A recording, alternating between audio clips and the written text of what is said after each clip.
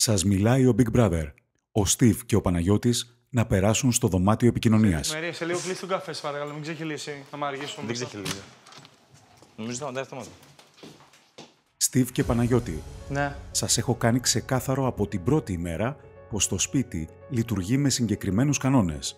Έχω ακούσει σε Ναι, τι συζητήσεις σας να συνεννοείστε για το πώς θα μοιράσετε το χρηματικό έπαθλο εάν το κερδίσετε.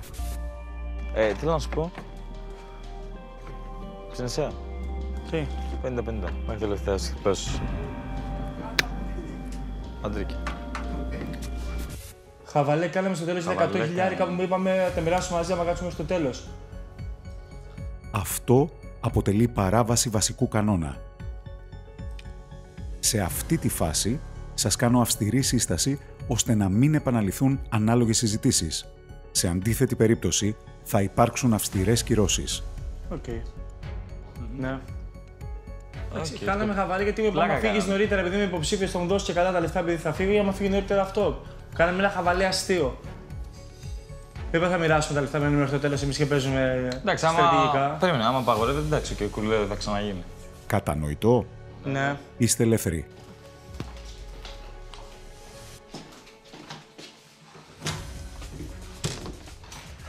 Γιατί φάπα ήταν αυτό.